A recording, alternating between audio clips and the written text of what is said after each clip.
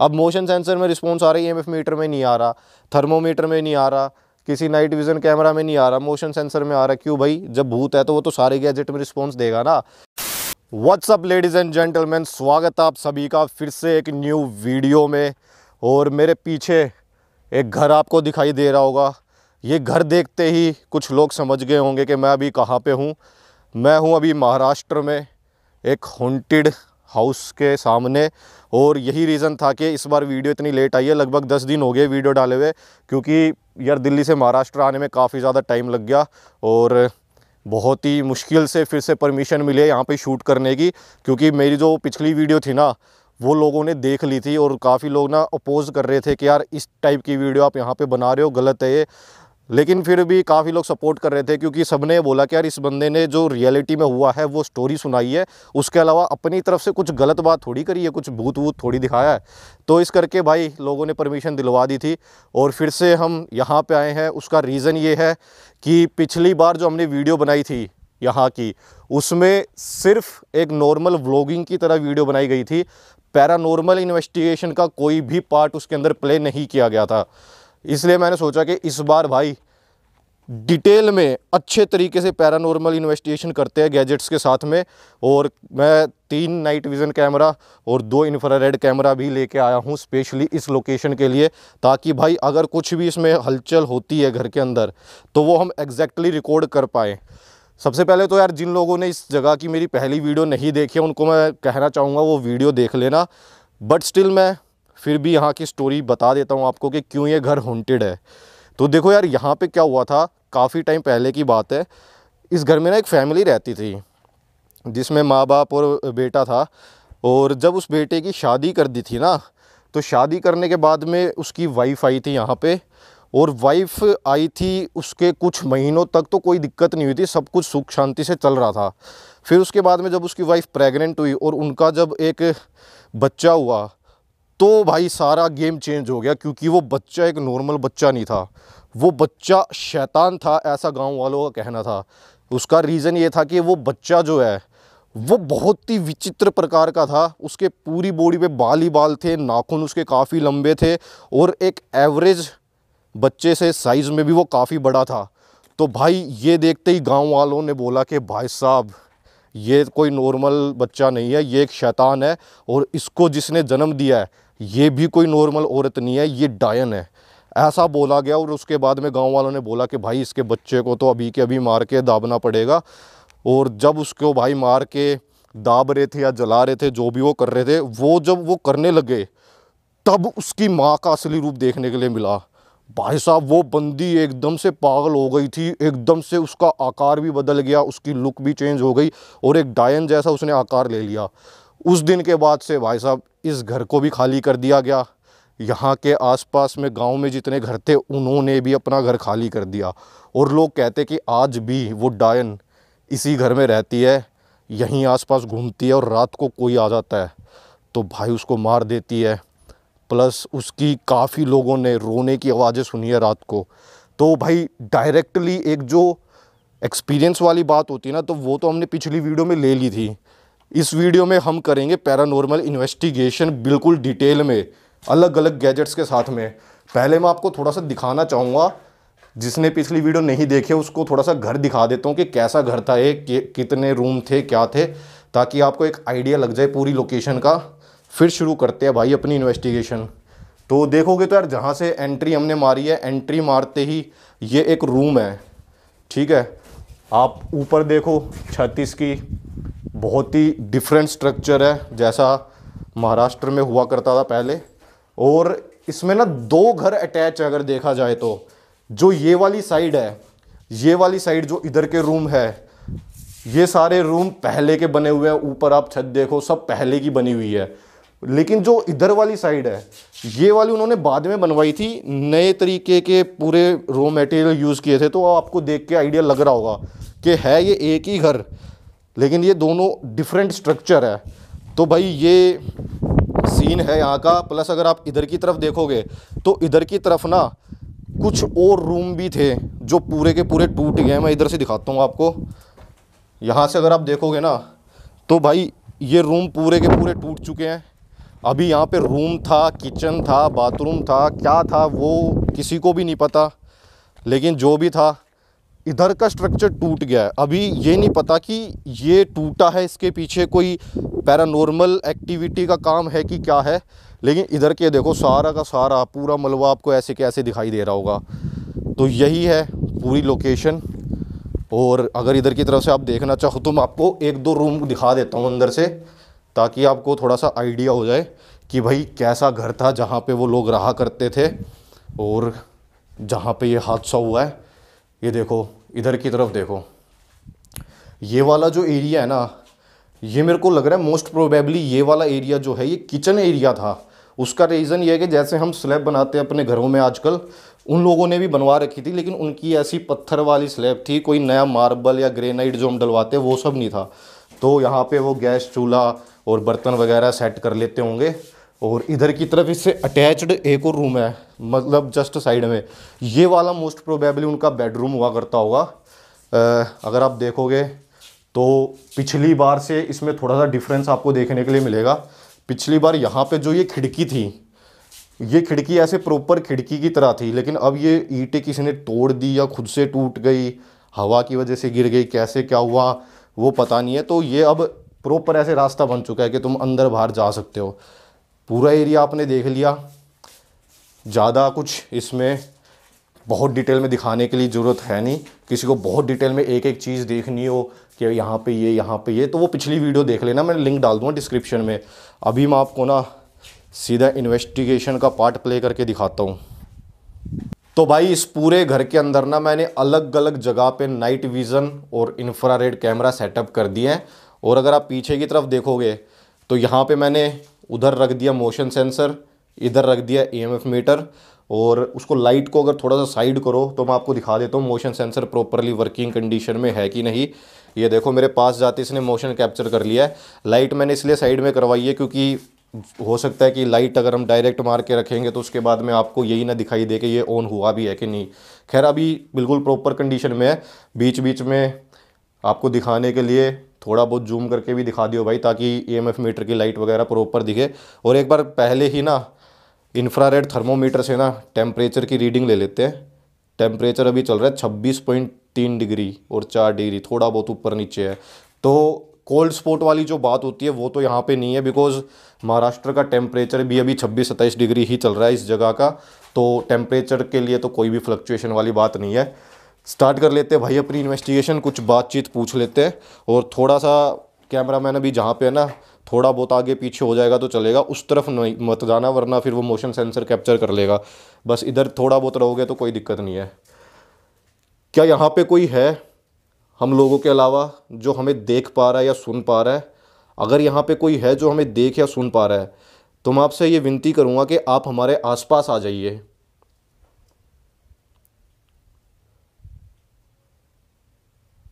अगर आप अगर आप हमारे आसपास आओगे तो सामने मैंने दो चीज़ रखी हुई है। उस वाली चीज़ में सफ़ेद कलर की लाइट जल जाएगी और इधर वाली चीज़ में कुछ रंग बिरंगी लाल, पीली इस तरीके की ना लाइट जल जाएगी। तो उससे हमें पता चल जाएगा कि आप यहाँ पे हो। ये जो चीज़ें रखी हुई है, ये सिर्फ़ आपसे बात करने का एक ज़रिया है। इन चीज़ों का आपको कोई भी नुकसान नहीं पहुँचेगा। ये मेरा वादा है आपसे। अगर आपको कोई भी नुकसान इन चीज़ों से पहुँचता है तो मैं आपको कहता हूँ अपनी खुद की इच्छा से आप मुझे नुकसान पहुँचा देना। मैं यहाँ पे सिर्फ़ आपसे बात करने के लिए आया हूँ। क्या आप हो यहाँ पे?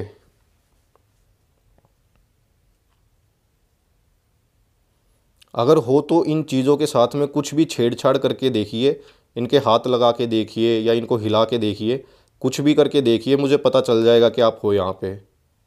ओए, ये दिखी थी? ईएमएफ मीटर में एकदम से तीन लाइट जली है। मैं आपसे कहना चाहता हूँ, अगर अभी अभी आपने इस सामान के साथ में कुछ छेड़छाड़ करी है तो क्या एक बार आप वही छेड़छाड़ उस सामान के साथ कर सकते हो?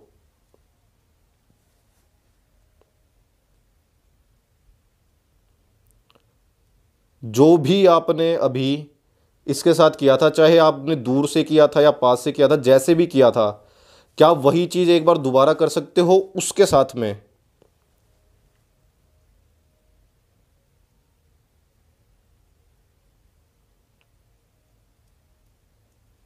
देखिए, अगर आप कुछ नहीं करोगे तो फिर मुझे पता नहीं चल पाएगा आपके यहाँ होने का।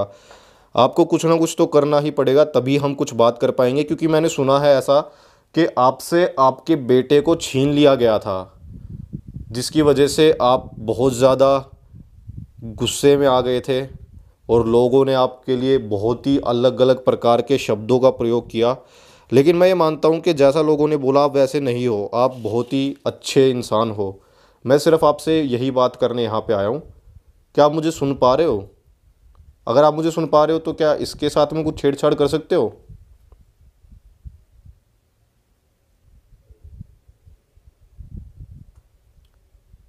अगर आप मुझे सुन या देख पा रहे हो, चाहे आप मेरे पास हो या दूर हो, क्या आप मेरे आसपास आ सकते हो एक बार बस?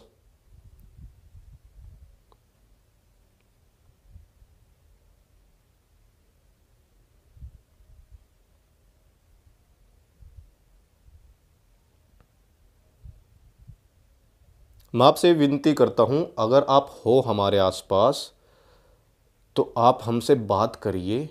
आप किसी भी तरीके से हम बात कर सकते हैं, आपके किसी भी तरीके से हम आपसे बात कर सकते हैं। आप अगर इनके साथ में हमसे कांटेक्ट बनाना चाहो तो भी बना सकते हो। आप अगर डायरेक्ट कुछ करना चाहो, आप खुद को हमें दिखाना चाहो तो भी आप हमें दिखा दो। आप कुछ आवाज़ करना चाहो तो वो भी आप करके दिखा सकते हो। हम आपको देखना चाहते हैं, आपको सुनना चाहते हैं, आपके बारे में जानना चाहते हैं। और अगर आपको किसी भी प्रकार की कोई मदद चाहिए तो वो हम आपकी करना चाहते हैं। उसके लिए आपको हमारे आसपास आना पड़ेगा, हमें बताना पड़ेगा कि आप हो यहाँ पे।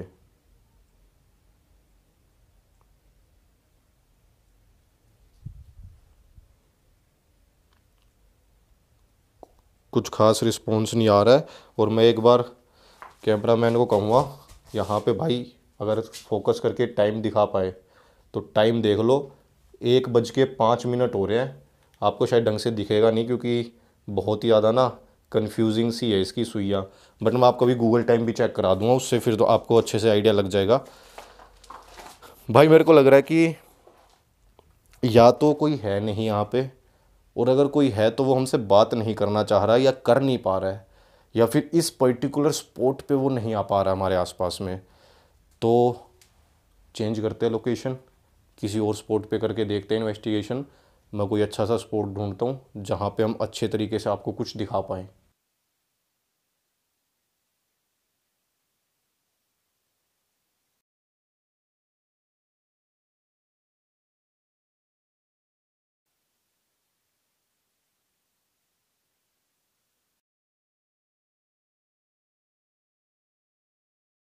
पिछली क्लिप जो आपने देखी है उस क्लिप के बाद में लगभग मैंने आधे घंटे तक और अंदर इन्वेस्टिगेशन करी, लेकिन कहीं पे भी कोई रिस्पॉन्स देखने के लिए नहीं मिला। इसलिए मैं बाहर की तरफ़ आ गया हूँ, क्योंकि मुझे लगा कि क्या पता अंदर किसी भी रीज़न से अगर हमारे साथ में कांटेक्ट नहीं बन पा रहा है तो शायद से बाहर बन जाए।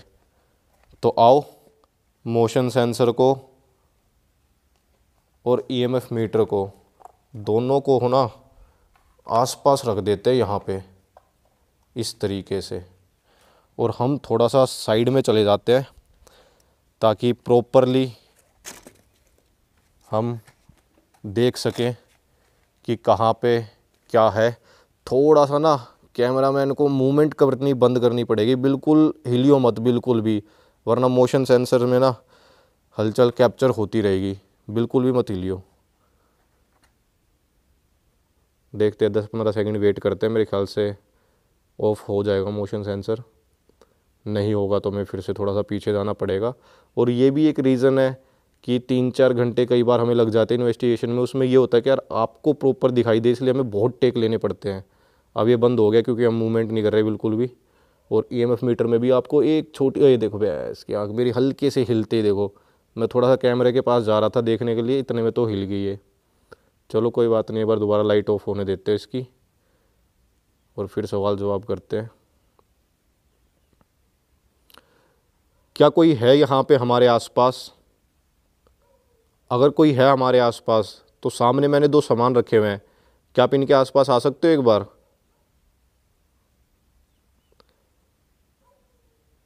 मैं आपसे कहना चाहूँगा कि ये मैं आपसे लास्ट बार पूछ रहा हूँ। इसके बाद में मैं यहाँ से चला जाऊँगा। तो अगर आपको मेरी कोई भी मदद चाहिए हो तो यही सही मौका है मुझसे बात करने का। आप मेरे आसपास आ जाइए। या तो आप मेरे साथ कुछ कर दीजिए या सामने जो सामान रखे हैं, इनके साथ कुछ कर दीजिए। हमें पता चल जाएगा कि आप हो यहाँ पे।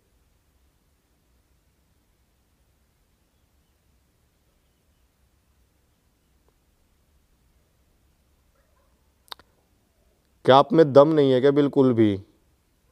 आप हमसे डरते हो इसलिए आप हमारे आसपास नहीं आ रहे। ओ भाई साहब। ये क्या हुआ? थोड़ा सा पीछे आ। मुझे लग रहा है ये हमारी ही मूवमेंट कैप्चर कर रहा है। एक मिनट, और पीछे आ, और पीछे आ, और पीछे जूम कर ले इसको। अब जूम कर ले कैमरे को ना, और जूम कर ले। हाँ बस ऐसे रख ले। अब ठीक है। अब ठीक है, ऐसे रख ले इसको ना। अब देखते हैं। भाई, अभी जो लाइट जली है ना, अभी कहने को तो हम कह दे कि यार ये भूत की वजह से जली है, लेकिन ना जस्ट हमने दो तीन सेकंड पहले देखा ही था कि मेरे हल्का सा हिलते ही मोशन उठा लिया था इसने। तो एक बार इसको बंद होने देते हैं। अभी हम इसके थोड़े से ना रेंज से दूर आ चुके हैं। अगर अभी भी ये मोशन कैप्चर कर लेगा तो हमें पता चल जाएगा। ये लो ये लो ये लो ये लो ये लो। भाई साहब, इसने फिर से कैप्चर कर लिया। एक बार वापस पूरा जूम हटाइयो। हटा दे पूरा। और हटा दे। ये देखो, हम इतनी दूर खड़े हुए इससे। किसी को ये ना लगे कि हम काफ़ी पास है। अब कर ले जूम क्या आप हमसे बात करना चाह रहे हो? अगर आप हमसे बात करना चाह रहे हो तो क्या फिर से इस सफ़ेद लाइट के पास आ सकते हो? फिर से इसमें लाइट जला सकते हो, जैसे अभी जलाई थी? अगर आप फिर से इसमें लाइट जला दोगे तो मुझे पक्का यकीन हो जाएगा कि आप हो यहाँ पे।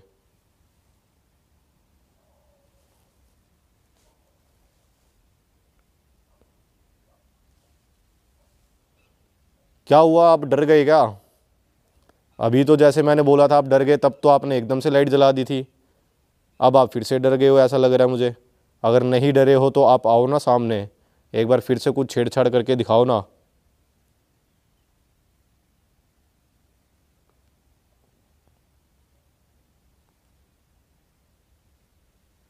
मुझे ल...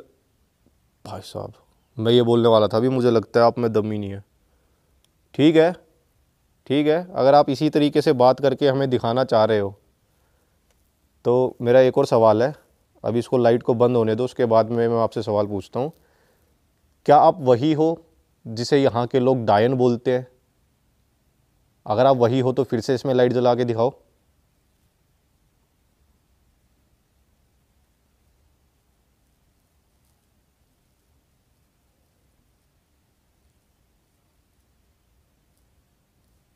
अगर आपको डायन शब्द ठीक नहीं लगा है तो मैं आपको बताना चाहूँगा लोग ऐसा बोलते हैं हम ऐसा नहीं मानते। आ, क्या आप वही हो जिनके बच्चे को उनसे छीन लिया गया था? क्या आप वही हो जिसके बच्चे को ये बोला गया था भाई वही है। वही है।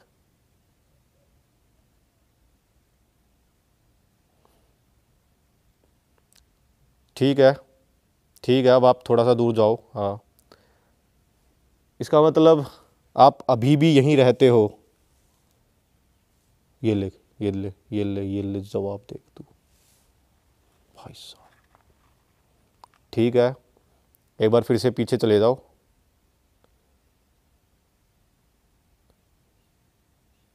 आप एक बार जवाब दे के हाँ इसी तरीके से पीछे चले जाया करो ताकि हमें फिर बाद में ये देखो। पीछे पीछे चले जाना, आपको आगे नहीं आना।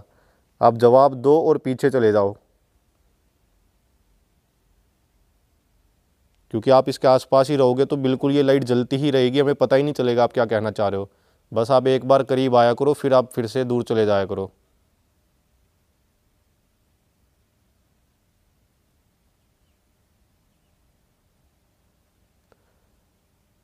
क्या आप इस जगह को छोड़कर जाना चाहते हो? अगर आप इस जगह को छोड़कर जाना चाहते हो तो फिर से इस जगह इस लाइट में फिर से कुछ हलचल करके दिखाइए।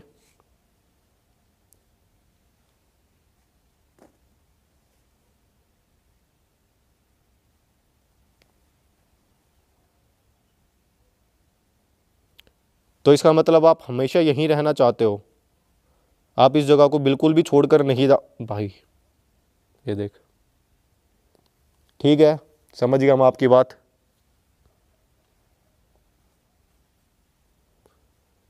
ठीक है ठीक है हम आपकी बात समझ गया। आप चले जाइए पीछे फिर से। क्या आप ऐसा कुछ चाहते हो जिसमें आपको, हम लोगों की मदद चाहिए? अगर आपको हमारी कोई भी मदद चाहिए तो आप फिर से इसमें कुछ लाइट जला के दिखाइए। और ये गोल चीज़ के साथ एक और चीज़ रखी हुई है कि आप इसके साथ कुछ छेड़छाड़ कर सकते हो?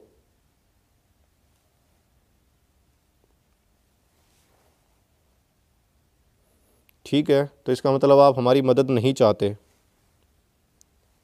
अगर आप हमारी मदद नहीं चाहते बिल्कुल भी तो क्या मोशन सेंसर को फिर से जला सकते हो? जैसे अभी आप लाइट जला रहे थे, फिर से एक बार जला सकते हो? ये देख, जल गई ना? ठीक है। ठीक है, आप फिर से चले जाइए। मैं बस आपसे एक आखिरी सवाल पूछना चाहूँगा। उसके बाद में आपके जवाब पे निर्भर करेगा कि हम आगे और बात करेंगे कि नहीं। एक बार आप पीछे चले जाइए।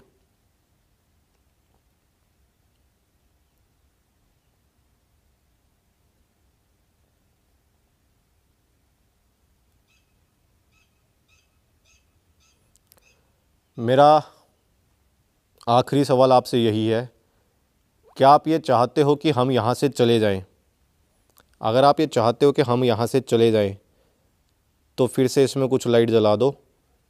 दोनों में से किसी भी गैजेट के साथ में कुछ भी छेड़छाड़ करके देखो, अगर आप ये चाहते हो कि हम यहाँ से चले जाएँ।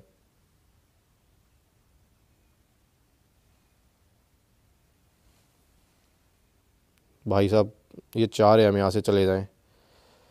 और मेरी तरफ़ कर समझू एक बार। मैं आपको एक चीज़ बता दूँ। ये सब जो हो रहा है, ये कैसे हो रहा है, वो भी मैं आपको बता देता हूँ। इधर आओ घूम के। हमारी दूरी तो है काफ़ी, हमारी दूरी। नो डाउट हमारी दूरी काफ़ी है। मैं सिर्फ़ आपको यही दिखाना चाह रहा हूँ कि जो मोशन सेंसर जलता है, ये कैसे जलता है? वही चीज़ मैं आपको दिखाने के लिए। ये सब जो अभी इतनी बार में ये सवाल जवाब हुए हैं ना, ये सब कैसे हुए हैं? इसके लिए किसी थर्ड पर्सन की ज़रूरत नहीं है जो वहाँ पे जाके मोशन सेंसर को जला रहा है। दूरी हमारे बीच में काफ़ी, उसका मुँह भी हमारी साइड में नहीं है। तो लोगों को ये लगता है कि यार उसका तो मुँह भी इनके साइड में नहीं है, इनके बीच में दूरी भी काफ़ी है, फिर भी मोशन सेंसर में जवाब आ रहे हैं तो कैसे आ रहे हैं? उसका रीज़न यही है कि यहाँ से ना इतनी दूरी से खड़ा होकर भी ना मैं हर सवाल के बाद में ना या तो इधर से थोड़ा सा हाथ हिला दे रहा था या फिर इधर से थोड़ा सा हाथ हिला दे रहा था। अभी जैसे मैं यहाँ पे हिल रहा हूँ तो वो मोशन सेंसर कंटिन्यूसली ऑन है, क्योंकि वो इतनी दूर से भी वर्किंग कंडीशन में है। ऐसा नहीं है कि उसका मुँह उस तरफ़ है तो वो उधर की ही मोशन कैप्चर कर रहा है। वो इधर की भी कर रहा है, वो इधर की भी कर रहा है, उसकी रेंज है काफ़ी। समझ रहे हो आप? तो जो लोग आपको बेवकूफ़ बनाते हैं किसी भी गैजेट के थ्रू और मैं यही चीज़ हमेशा बोलता हूँ कि यार दो चीज़ें सामने रखी हुई है, अगर किसी एक गैजेट के अंदर रिस्पॉन्स आ रहा है तो दूसरे में भी तो आएगा ही आएगा। दोनों चीज़ें साथ में रखी हुई है। अब मोशन सेंसर में रिस्पॉन्स आ रहा है ई मीटर में नहीं आ रहा थर्मोमीटर में नहीं आ रहा, किसी नाइट विज़न कैमरा में नहीं आ रहा मोशन सेंसर में आ रहा क्यों भाई? जब भूत है तो वो तो सारे गैजेट में रिस्पॉन्स देगा ना। और ये चीज़ देख लो तुम मोशन वो कैप्चर कर रहा है कंटिन्यूसली क्योंकि मैं इतनी दूर खड़ा होकर भी हिल रहा हूँ। और मैं कुछ नहीं कर रहा था, सिर्फ़ यहाँ पे कैमरामैन खड़ा था, यहाँ पे मैं खड़ा था। सवाल के बाद में बस मैं इधर से हल्का सा हाथ हिला रहा था, उसमें काम हो जा रहा था। ऐसी कोई ज़रूरत नहीं है कि तुम्हें तीन बंदे, चार बंदे चाहिए जो दूसरी तरफ़ छुप छुप के तुम्हारे लिए एक्टिवेट करेंगे। बहुत ही ईजी टू मैन्यूपुलेट चीज़ है। मेरे को ऐसा लगता है कि यार, अभी तक मैंने जितने भी गैजेट यूज़ करे हैं ना नाइट विज़न कैमरा वगैरह को अगर हम हटा दें तो ये चीज़ें ना, मेरे को लगता है कहीं ना कहीं ना ये चीज़ें ना आपको एक श्योरिटी नहीं दे सकती कि जो इनमें रिस्पॉन्स आए हैं, वो किसी स्पिरिट के द्वारा आए हैं। क्योंकि इन सबको मैनिपुलेट किया जा सकता है। आप ईएमएफ मीटर का मैंने आपको एक डिटेल में वीडियो बना के दिखाई थी। भाई, उस पूरे शमशान घाट में मैंने आपको पूरी इन्वेस्टिगेशन दिखाई थी एम मीटर में कैसे हम रील चला चला के इसके अंदर पाँच पाँच लाइटें भी जला दे रहे थे। मोशन सेंसर का भी मैंने आपको दिखा दिया। बस हल्का सा इतना सा कर दो, उसमें भी ये जल जाएगा। और ऐसा नहीं है कि मैं और भी दूर चला जाता ना तो हो सकता है मैं और पाँच छः फीट दूर चला जाता ना, तब भी ये मोशन कैप्चर कर लेता। क्योंकि रेंज होती है भाई पंद्रह बीस फुट की रेंज होती है मोशन सेंसर की। तो वो कैप्चर करेगा ही करेगा। पर ठीक है, मैं कहा आपको एक बार दिखा तो दूँ। यहाँ पे तो शुरू में जब मैंने इन्वेस्टिगेशन करी थी ना तो अभी एक डेढ़ घंटे तक तो मैंने बिल्कुल सीरियसली इन्वेस्टिगेशन करी थी।